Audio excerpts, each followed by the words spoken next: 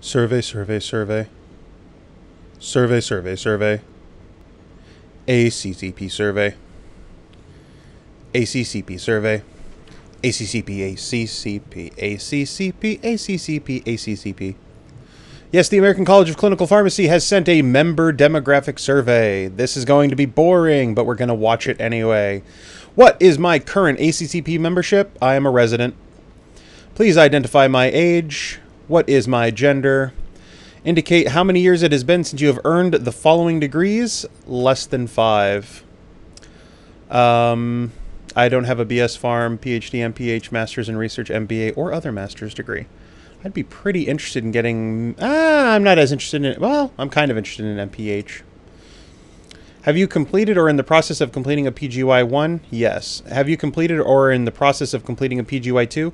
Uh, I'm going to say yes, even though technically I'm. Am I in the process? I haven't started working, but I've matched and I'm going there.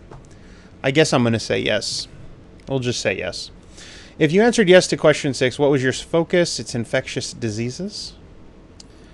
There's look at all of these different uh, areas of specialty focus: administration, ambulatory care, cardiology, clinical informatics, clinical pharmaceutical sciences, clinical pharmacology, community pharmacy, critical care, drug development, drug information, emergency medicine, endocrinology, family medicine, geriatric hospice, internal medicine, managed care, nephrology, neurology, nuclear pharmacy, nutrition support, obstetrics, gynecology. I have never seen an obstetrics gynecology specialist pharmacist but I suppose it's possible.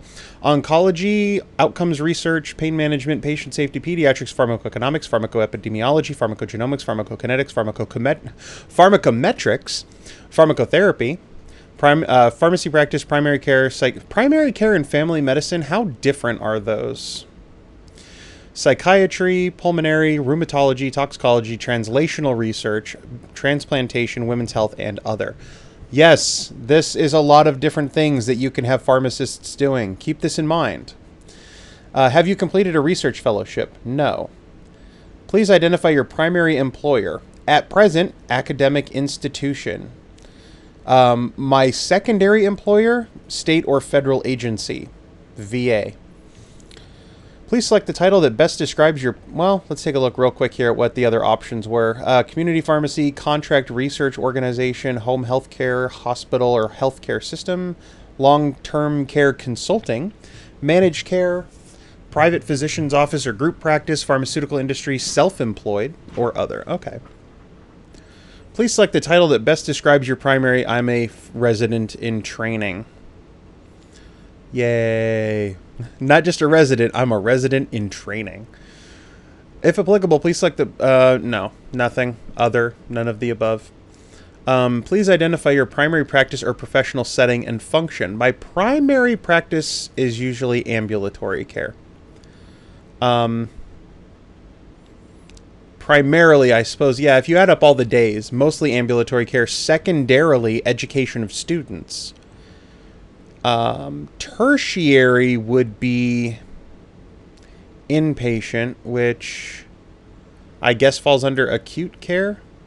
Yeah, I guess in acute care would be my tertiary, but by far ambulatory care is most of my hours. Uh, please provide the following information if applicable. Number of patient visits per month, 400. Um, I know that from my research study, and that's not I could change that based on which site I'm at. But of the sites I was at the most, uh, which was an indigent care clinic, I know for sure, for sure, I know for sure that they have approximately 400 visits per month. Um, the two months that I studied, they had 393 and 395. So 400 is a nice round number. Please identify your professional interest areas. All right, well, I'm interested in adverse drug reactions. I'm interested in HIV. I'm interested in AmCare, anti-coag. I'm interested in cardiology. Um, I'm interested in drug abuse. I'm interested in drug interactions. I am interested in education. I'm interested in family medicine. Um, I'm interested in diabetes, which would be endocrinology, but I'm not going to click it. Um, let's see, herbal medicine. I like herbal medicine. I like to study it. I like infectious diseases. I like immunology. Do do do do do do. I love medical ethics. I'm a big fan. Nutrition. uh, pain and palliative care. I like pharmacoeconomics. Pharmaco. Uh, I do like the idea of pharmacogenomics, but I am not as heavily into it as I thought I would be. Um, pharmacotherapy and toxicology. That seems like quite a lot, right? Yeah. Please identify your professional interest areas. I'm a resident. I'm interested in a lot of things. Which of the following? I have none of the above. So this is a board certified pharmacotherapy specialist, a board certified oncology pharmacist, a board certified nutrition support pharmacist, a board certified nuclear pharmacist, a board certified psychiatry pharmacist, I think or psychiatric pharmacist, something like that. Board certified ambulatory care pharmacist and I do not hold. This it's interesting that all the rest of these are pharmacists except the BCPS, the board certified pharmacotherapy specialist.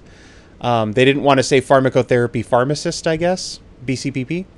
This is by far the most common, BCPS. Um, up until recently, I believe it was a year or two ago, they finally added BCACP.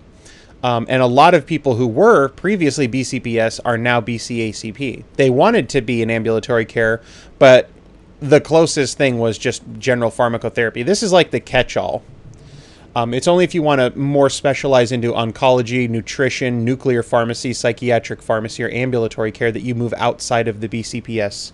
Um, lab- well, I say labeling certification. They are considering adding additional certifications. I know pediatric pharmacy has been brought up. There was also um, talk about maybe some infectious disease in the future. Uh, cardiology is a separate right now, if you're BCPS, you can get what's called AQ or additional qualifications in cardiology or in infectious diseases. Those two I know for sure because I have one pharmacist preceptor who's a uh, BCPS AQ cardiology and another one who's BCPS AQ infectious diseases. And that requires extra work on top of the BCPS to get that added qualification. Um, I oh well here you go the cardiology and infectious disease added qualifications. So, way to anticipate what the thing's going to mention. So, I, apparently, those are the only two added qualifications you can get at the moment. Please indicate any additional certifications you may hold. BCADM. Um, this one is not as common because you it's not um, reimbursable. If you're a certified diabetes educator, you can actually bill insurances as a as a CDE. Um, BCADM, I believe, you can, unless the special insurance company decides to, this is not generally billable, so it's not as common. Uh, one of my professors was a certified geriatric pharmacist. Another one was a CLS, which is the certified lipid specialist or lipidology specialist. Um, I don't know what DBAT stands for. Uh, what's funny is approaching toxicology from a non-medical standpoint. My undergraduate was toxicology from a forensics crime investigation standpoint. Um, so I'm not quite offhand recalling what DBAT stands for, but I'm none of the above. Um, I have a certificate, but it's not a certification. So I could fill in that I have completed the American Pharmacists Association's um, patient centered diabetes care certificate program, but that's not a certification. I've also completed a uh, American Pharmacists Association certificate training in immunizations, vaccine administration. But please indicate other professional pharmacy related organizations of which you're a current member. Okay, so there's a lot more here than I actually ever knew about. So I am a member of AACP because I currently teach at a school pharmacy. Um, never heard of AAPS. ACCP, a different one. So there's the American College of Clinical Pharmacists, then there's the American College of Clinical Pharmacology, and then there's the American College of Chest Physicians. So there's a lot of ACCPs. Um, but no, Academy of Managed Care, APHA, yes. American Society of Clinical Oncology, no. American Society of Consultant Pharmacists, actually, yes, I am. Actually, this is the American Society of Consultant Pharmacists. I'm not sure what a pharmacist does. Maybe they practice pharmacology. Uh, American Society for Clinical Pharmacology and Therapeutics. I haven't heard of them. American Society of Health System Pharmacists. Yes. Uh, College of Psychiatric and Neurologic Pharmacists. I've heard of them. Drug Information Association. Have not. HOPA. Have not. NCPA, yes, although I'm technically no longer a member, so I'll uncheck that. National Home Infusion, nope, never heard of you. National Pharmaceutical Association, have not heard of you either. How do you differ from the American Pharmacists Association, which used to be known as the American Pharmaceutical Association? I don't know. Pediatric Pharmacy, I'm actually a member of the Pediatric Pharmacy Advocacy Group. If it'll let me click, thank you. Society of Critical Care, no. Society of Infectious Disease Pharmacists, I want to join, but you have to be kind of uh, put up for membership by a current member. Um, so hopefully I'll be a member of that after my next year's rotation, my next year residency. Who pays my dues? Me. I pay my dues. Thank you. Have you? No, I have not implemented a specialty clinic. So I'm not going to answer yes. Um, I have participated in specialty clinics, but I have not implemented specialty clinics. I have participated in a pharmacist run anticoagulation clinic, pharmacist run diabetes clinic, pharmacist run hypertension clinic, pharmacist run lipid clinic, pharmacist run medication management clinic, pharmacotherapy clinic, and smoking cessation clinic. Um, of which some of them are technically interprofessional. Some of them are both pharmacist run and interprofessional. Where I am currently, it's run. Um, it's the clinic is sponsored slash run by a nursing school um, for nurse practitioners, and the, most of the providers they do have a couple physicians that come in, but most of the providers are nurse practitioners, and uh, they run things for the most part. Uh, so that would be an interprofessional diabetes clinic. There's a nutritionist on uh, on the grounds, and uh, there's, of course, us as the pharmacists there as well. Do you currently practice in a specialty clinic? Yes. Please identify. Okay. Where I currently, I'm here, technically as of right now. So I'll just click that one and let it be an interprofessional diabetes clinic as far as the survey is concerned. Um, I could totally click that, that, that, that, that, that, and let it go that way too, but I don't want to be misleading. I mean, either way, it's kind of technically misleading. Um, but right now, I currently practice in an interprofessional diabetes clinic. In the past two years, have you served on a P&T or formulary committee? No, I have presented to a P&T committee. Um, the VA calls theirs the MUC. In the past years, have you presented? Yes, yes, I have presented. Thank you very much. I actually presented on anticoagulation and the management of subtherapeutic uh, INRs in warfarin patients. In the past years, have you participated as a member of any IRB or research review committee? No, although I have submitted my research project to an institutional review board, which gained, I don't know how to phrase it. It was approved by the IRB because it was unnecessary to be approved by the IRB. Um, my research was exempt from approval because I'm not using, I'm not exposing patients. I'm just doing chart review, and the uh, patient information is de-identified. So I'm, I personally am the only person who sees the patient's name, um, but all the data and even uh, the professor who's right now doing the data analysis for me. Uh, doesn't see any patient names. So, as a de identified retrospective chart review, um, I was technically waived for IRB approval, but I still submitted it through the IRB uh, in order to, you know, get waived for for legit, yo. Does your current pharmacy practice provide provisions for? Wow, I love that. Does your current pharmacy practice provide provisions for prescriptive authority as part of a collaborative drug therapy management agreement? Institutional? Yes, yes, it does. Um, it does. So thank you. I'm happy. Is your current pharmacy practice supported through a uh, yes. And yes. So, I practice currently, right now, I practice at two different sites. One is that Interprofessional Diabetes Center, and the other is the VA hospital. Um, so, through that center, we have CDTM with a, I think it's technically a group of physicians because there's more than one physician that goes there, and so I'm going to pretend that it's a group. You know what? I'm going to say this instead. I'm going to say it's a single physician because I do believe it's one physician's name that goes on everything. And then through the VA, that's an institution that grants uh, prescriptive privileging.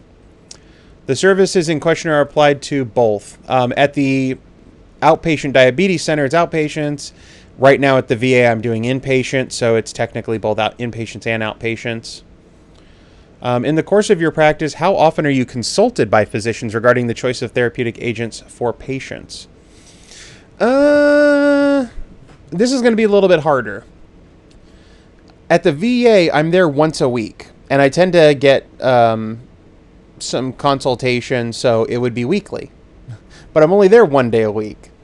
Um, at the at the diabetes center so far, um, it's happened once, but I haven't. I've only seen three patients so far. Uh, so I guess weekly. I'll do weekly. In the course of your practice, how often are you consulted by nurses? Okay, well, technically, the physician. I'm not seeing talking to physicians for the most part. Although there was a physician there today, and we talked to him about drug therapy for a patient. So yay. Okay, so how often are you consulted by nurses? I'm going to say weekly again because why not? In the past two years, indicate how many number of times you provided in-service programs or other forms of clinical education to healthcare providers outside the pharmacy profession. Um, in the past two years, well, I provided um, once for nurse. Well, not once. I've done nursing and physicians at the Indian Health Service. Um, I've done at the VA for nurses and physicians. Well, actually, mostly physicians there. So that's two. Um, I did CE, but that was pretty much just all pharmacists. So I'm not going to count that. Have I com- presented to anyone else? I'll just say twice. That's one to three to healthcare providers outside the pharmacy profession. I've talked to nurses in that a couple times, but I mean, doing an actual in service program for sure, I've done tw- two of them. In the past two years, how many times have you presented a poster, abstract, or paper, or served as a speaker at a national meeting or professional organization? Well, let's see. Two years running at ASHP for posters, um, at a national meeting of a professional organization. So two. And other healthcare profession, um, none. I don't think I presented outside of the pharmacy profession. So that'll work for me. All right, let's click done. And that's it. I don't get no prizes or nothing. Well, until next time, bye bye.